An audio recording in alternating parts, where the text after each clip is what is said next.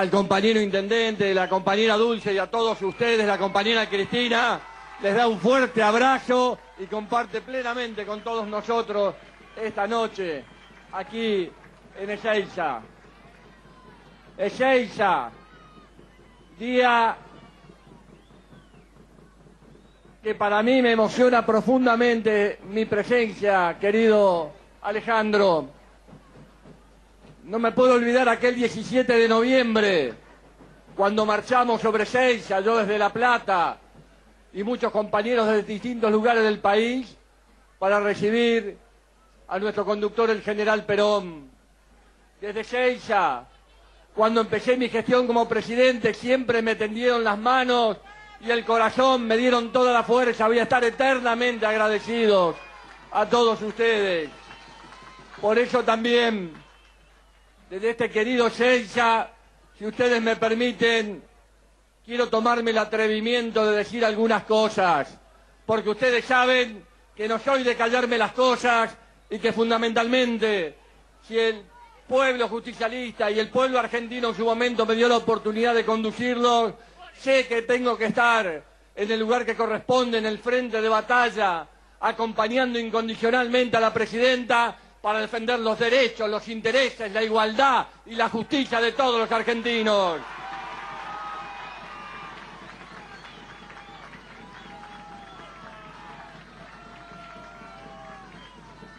No vengo a hacer ningún marco de especulación política y con profundo amor, con profundo cariño a todos los argentinos, trato de que podamos hacer juntos algunas reflexiones. Ustedes recuerdan cómo estaba esta patria cuando nos tocó asumir el 25 de mayo del 2003. Ustedes recuerdan los millones de argentinos que estaban desocupados, olvidados, de la mano de Dios. Ustedes recuerdan cómo había que luchar para tratar de levantar esta patria acosada por el Fondo Monetario Internacional, acosada por sus deudas y acosada por los errores de aquellos que no estuvieron a la altura de la historia y quebraron la Argentina. Pero los argentinos, teniendo como columna vertebral a este gran movimiento, pero argentinos que no piensan por allí como nosotros, pero que piensan en la patria, junto a nosotros nos pusimos a reconstruir este país. Lo levantamos, es el sexto año de crecimiento consecutivo, pero aparecen los de siempre, aquellos que frustraron y generaron 1955, aquellos que generaron 1976, aquellos que lamentablemente piensan nada más que en ellos y se olvidan que en la Argentina no viven 300 o 400 mil personas, sino somos 40 millones de argentinos que queremos vivir y que tenemos, queremos tener las posibilidades de ser. Duele, duele en el alma que argentinos que le vaya tan bien, que argentinos que tengan tanta rentabilidad, que argentinos, muchos de ellos que tuvieron la suerte de tener la posibilidad y las herramientas para poder construir su propio futuro, que ganaron muchísimo dinero con nuestro gobierno y lo están ganando hoy. Duele, se los digo de corazón, verlos mirar con la espalda y con la nuca a la patria y a los restos y al resto de los argentinos. Yo no sé por qué nos llenaron de humo y queman los campos. Yo no sé por qué desabastecieron a los argentinos por no estar de acuerdo. Yo no sé por qué no subieron los precios, porque los precios suben por la especulación que estos señores hacen. Tomemos conciencia porque todos los argentinos tenemos que ponernos de pie para que estas cuestiones se terminen. ¿Saben lo que quieren? Hoy la presidenta lo decía con toda claridad. Quieren que en la mesa de los argentinos no tengamos las cuestiones mínimas que tenemos que tener nosotros los vemos en las negociaciones que llevan día tras día. Quieren vender todo al exterior porque los precios de los alimentos están absolutamente caros por la situación financiera internacional, están absolutamente caros por la debilitación del dólar y están absolutamente caros porque la especulación financiera va detrás de los commodities alimentarios y petroleros.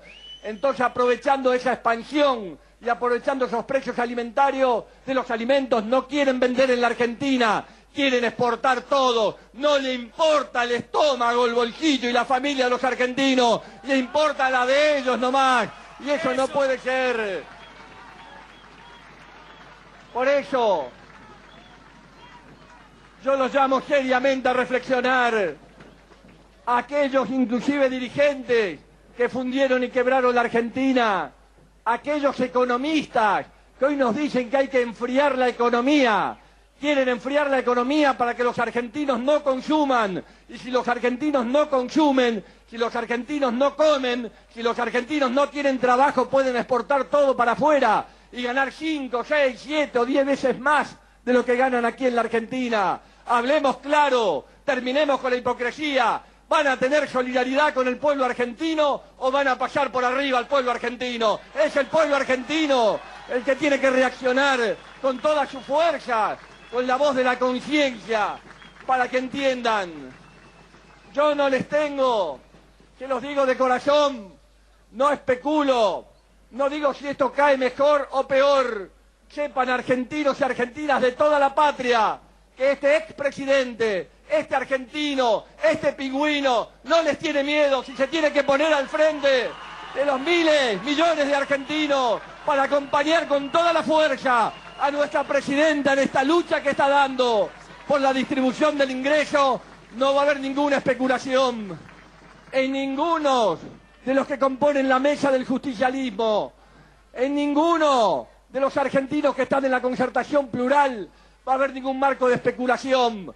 Hay que dejar de jugar a la política para jugar fuerte por el país. Hay que dejar de especular.